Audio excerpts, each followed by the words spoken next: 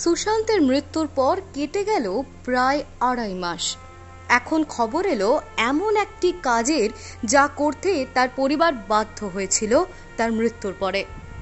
ভিডিওটি দেখার আগে আমাদের YouTube channel Sharmila show house subscribe করুন, আমাদের Facebook page Sharmila Maity official follow এবং লাইক করুন।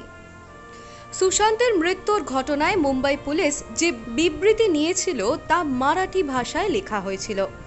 তাতে আদপে কি লেখা ছিল তা বোঝার উপায় ছিল না সুশান্তের পরিবারের।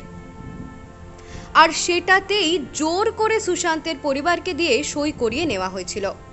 সাংবাদিক সম্মেলন করে এই কথাই স্পষ্ট করলেন সুশান্তের পরিবারের আইনজীবী বিকাশ সিং।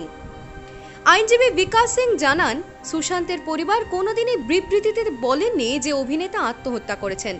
এমনকি তার পরিবারের বিবৃতি যখন মারাঠিতে লেখা হচ্ছিল, সুশান্তের পরিবার তাতে বাধাও দেন। তবে সেটা মুম্বাই পুলিশ গ্রাহ্য করেননি।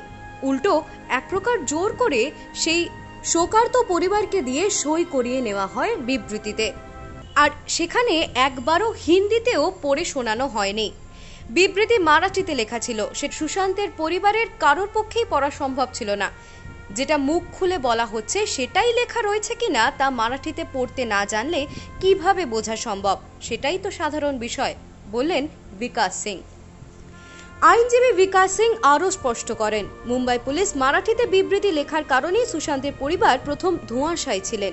সে কারণেই তারা অপেক্ষা করছিলেন মুম্বাই পুলিশ কোনো পদক্ষেপ নেয় কিনা।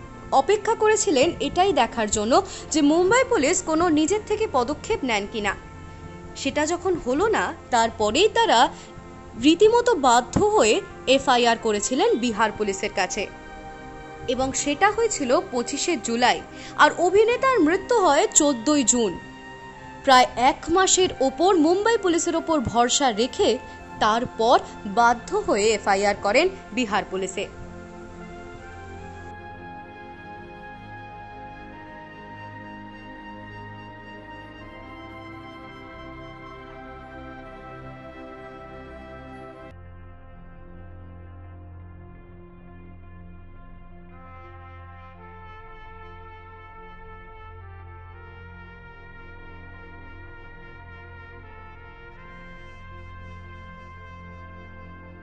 Hey guys, this is Shormila Maiti from Shormila Show House and please uh, subscribe my channel, click the bell button for more updates.